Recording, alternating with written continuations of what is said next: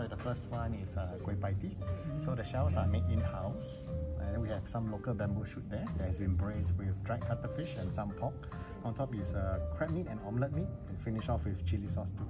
The name come about, Chef Malcolm found it in the vintage bookshop. This cookbook dated back to 1966. So he uses uh, candied peanut instead of sugar to get the sweetness. So later when you taste the chili sauce, there's some nuttiness to it. The breadcrumbs at the bottom not meant to be eaten, just to make it look good and also to hold a cup. If you're really hungry, you can. It's uh, fresh breadcrumbs. I suggest not. There's a lot of food coming up. Next is uh, keropok or prawn cracker. Uh, it will take about three days to come to the end product here. We use red tail sea prawn or angkar prawn. Uh, there's about more than 65% uh, prawn and the rest are flour. And then even the juices from the prawn head we make into prawn oil and prawn salt. Finish off with some seaweed flakes. Next is uh, Ngoh Hiang. Traditionally is always a long roll, but they do it in a ball form because you can lock in the moisture better. You got minced pork, shiitake mushroom, water chestnut, abalone wrap in bigger skin and then we fry on top with strips of abalone and we finish with the sauce that is made with uh, braised abalone reduction. Lastly is uh, mee sua kueh or rice noodle. So purely mee sua, there's no other flour starch. Uh, we bind everything together. There is a dried Hokkaido scallop, dried oyster, sakura ebi. Then we finish off with the tea tree mushroom with sea urchin sauce or uni sauce. Yeah, and then this one will have a lot of umami flavor. Mm. You start with the kueh pie tee, mm. then you make your way down to the mee sua kueh. Okay. Enjoy it.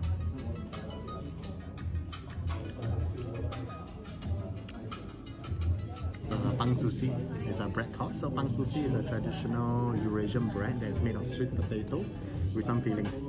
Uh, but Chef Malcolm like polo pao, so you added the polo pao crust on top of pang susi. So on top you're going to find it flaky with some buttery sweetness. Uh, inside it's still going to be soft and fluffy. The fillings inside is uh, Iberico pork cheek.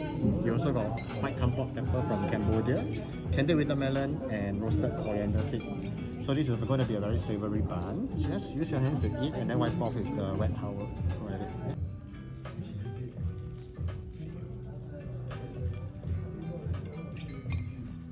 Slightly long name. Effectively, it is a prawn dumpling. They stuffed with mooloolaba king prawn otah as well as Boston lobster. There is also more lobster as well as some Japanese cabbage at the base for more textures. The dough skin is infused with some turmeric, such as the broth that is based with turmeric, pineapple, some shellfish broth as well as coconut milk. So the idea of this dish came from the famous Nanas prawn. So it's a dish with chunks of pineapple with whole prawn and with a slightly spicy uh, coconut milk based sauce. So chef actually doesn't like pineapple. It's just the wife who loves Nanas prawn. So he created this dish him, uh, for her.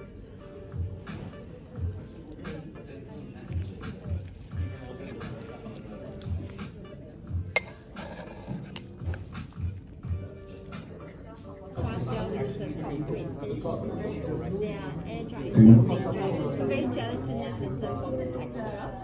Soup base itself is with otan, chicken wing teeth and pork trotters, cooked over long hours, hence the amount of gingerbread. We have also fish omelette, some lion, lion heads meatball as well as some vegetables with it. The colorfulness of the soup is done to mimic the kamcheng, which is a traditional ceramic that is very colorful, full of motifs, used to on occasional settings uh, in traditional uh, tables. With that, the cover of the kamcheng usually is the lion head or lion, hence the lion head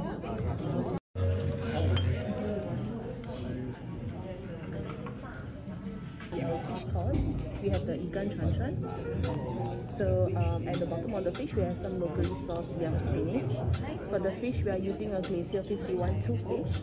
It's found uh, colder waters of the Australia side, so it's nearer to Antarctica. It's uh, like locally, it's the texture of the codfish. It's more fatty on the meat. It goes very well with uh, fermented bean sauce, which is taucho. So taucho sauce is blended with bentong ginger. It's a slightly more spicy floral ginger. On the top of the fish, we have some lily bud that is hand breaded uh, by our chefs, and also uh, whole ginger. Enjoy. Thank you. Wait, wait, there's some more. There's some more yakitori.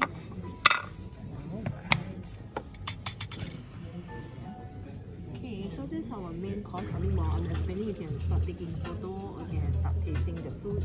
So this is a traditional nasi ulam. So uh, nasi means rice, ulam means vegetable. So there are more vegetable than rice. So the nasi ulam itself, there's a diagram for you to refer to. There's a numbering as well. So nasi ulam is a, a very herbaceous, uh, very floral and dedicated uh, rice using 18 types of herbs. So every day chef uh, will cut the, the uh, herbs very thinly, uh, which requires a lot of effort to cook together with the rice. And on top of the nasi ulam uh, is sayur lodeh. So turmeric with uh, coconut milk and curry is refreshing with the Japanese vegetables added into it. And there's also a tempeh which is uh, organic. Right? And in the center is a curry. So this curry is uh, from a Westholme with Westholme uh, Wagyu beef short ribs. And yours is the pork. No, sorry, yours is a crab curry. Yeah, crab curry is a seafood curry. Right? And uh, garnished with the Japanese pumpkin on top. Right? And then this one, the tail and the head of the uh, fish, uh, I think you are very familiar, it's a nasi lemak uh, deep fried fish and served on top of a paste which is a Mao Shan Wang durian fermented for 4 days. Can take durian, right? But it's not very funky. It's a bit sweet and very tangy sweetness and savory. It's quite interesting and very good with the rice as well. And this uh, buah the triangular thing, is actually a pottery, handmade pottery bowl made by the local couple who is very inspired by the Japanese uh, art of uh, making uh, bowls. So uh, on top of inside the bowls is uh, uh, this oxtail beef with uh, sambal chili sauce and kerak paste, right? It's very savory.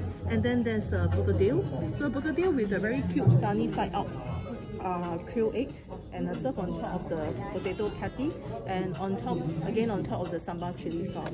So if all these side dishes are very rich and uh, too heavy for you you can refresh your palate with the, the top right hand corner which is the banana flower salad and then followed by the acar acar so the acar acar is a blend of a very refreshing and tropical fruits of star fruits uh, guava and a jumbo jumbo uh, rose apple. And then there's of course a belacan chili belacan here and this uh, chili sauce, you can try to squeeze a few juice uh, from uh, some juice from the calamansi to add more zesty flavor. Right? And uh, this is a duck satay. So this duck satay is uh, coated with a caul fat, which is the stomach lining of the uh, pork. So which uh, is known to enhance the meat. So it's very juicy and tender. So my suggestion is just eat this first because when it turns cold, it'll be too rich. Right? Eat it while it's hot. Right? And the rice can be topped up at no cost, okay? And there's also an option of white rice. Okay, Please enjoy the juice. Served on top of the shaved ice. And this shaved ice is a, uh, comes with the juice that's a blend of the muskmelon and coconut. So it's very refreshing.